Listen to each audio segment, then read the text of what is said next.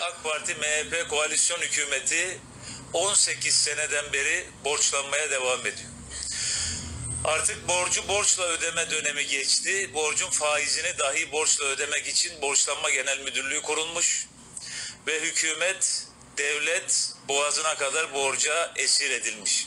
Peki diğer taraftan muhalefet partisinden gelen İstanbul Büyükşehir Belediye Başkanı o da daha geçtiğimiz günlerde bu önümüzdeki sene 1 milyar dolar belediyeyi borçlandırmak üzere belediye meclisinden karar çıkartıyor.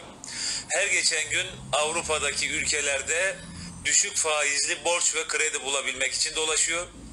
Peki diğer taraftan yeni kurulan ve yeni kurulacak olan partilerin başındaki insanlar ne diyorlar? Diyorlar ki efendim biz daha kolay ve daha çok borç buluruz. Bizim İngiltere ile Amerika ile finans çevreleriyle ilişkimiz daha iyi. Daha düşük faizle borç ve kredi buluruz. Dolayısıyla bizim yeniden Refah Partisi ve diğerleri sözümüzün ne kadar anlamlı olduğunu ortaya koyan bir gerçek.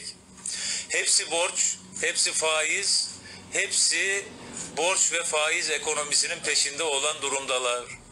Peki yeniden Refah Partisi ne diyor? Yeniden Refah Partisi sadece tek bir parti olarak diyor ki biz borç ve faiz ekonomisi yerine üretim, istihdam, ihracat ekonomisini uygulayacağız.